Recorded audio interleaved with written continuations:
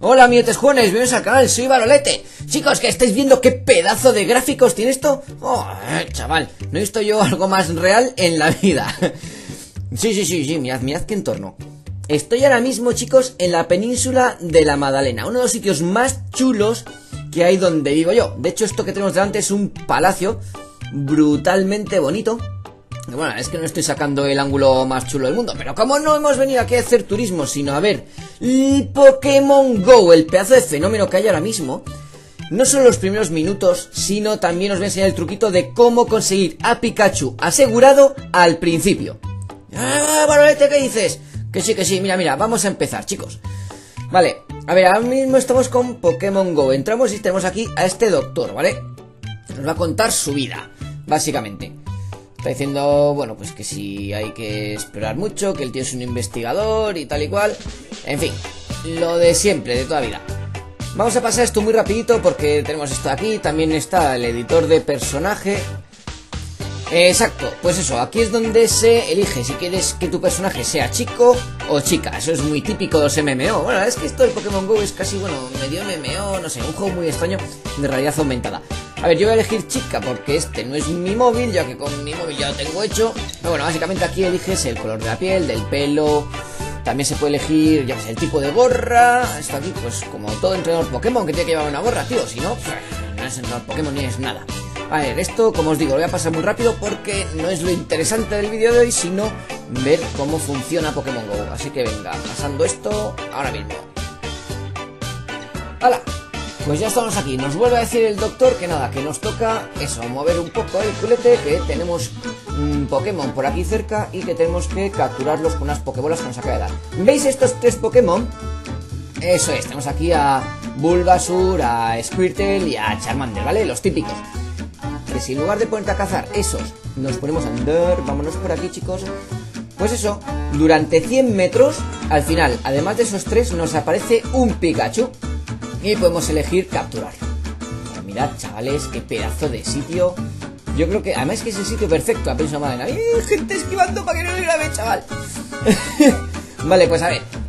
Este sitio aquí, además de tener un pedazo de palacio, se puede considerar casi montaña, tiene playa, tiene mar alrededor, tiene campo, o sea, el sitio perfecto para encontrar variedad de cosas, ¿vale? Entonces, bueno, porque ya sabéis que en este juego, en Pokémon GO, te aparece el Pokémon en función del entorno en el que estés.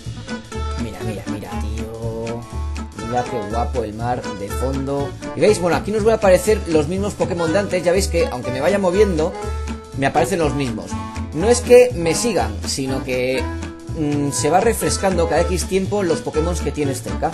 Y aunque tú te muevas, al cabo de un rato te vuelven a aparecer esos mismos hasta que capturas alguno. Y después de capturar alguno de esos, ya te empiezan a aparecer otros tipos de Pokémon. ¿Qué ocurre? Mira, tío.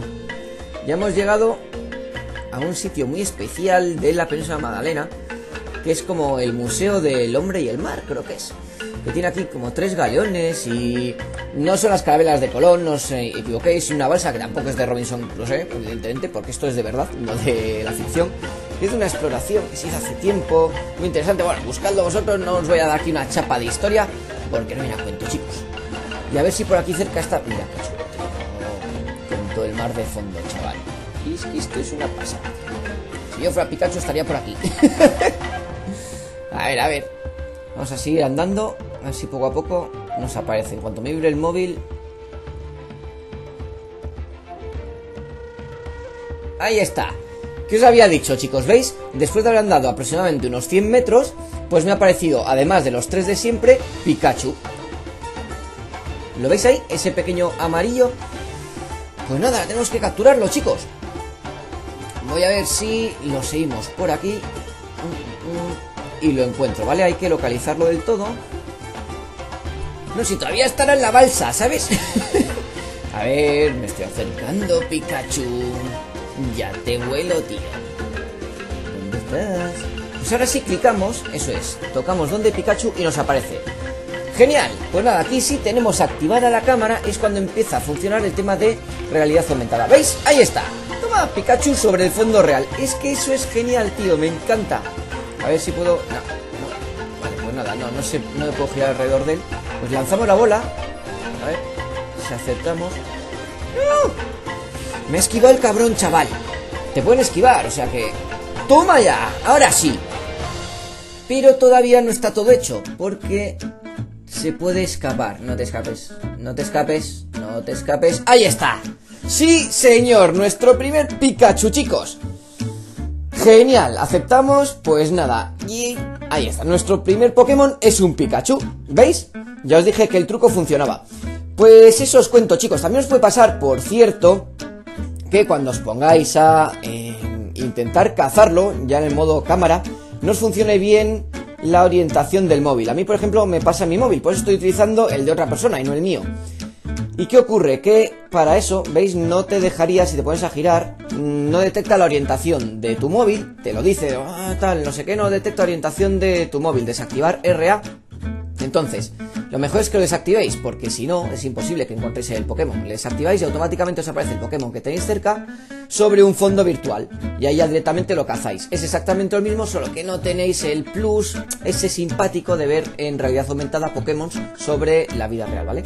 Y nada, ya tenemos nuestro primer Pokémon, chicos. Espero que os haya gustado el vídeo. Si es así, un like, comentad y compartid. Y no olvidéis suscribiros. ¡Nos vemos!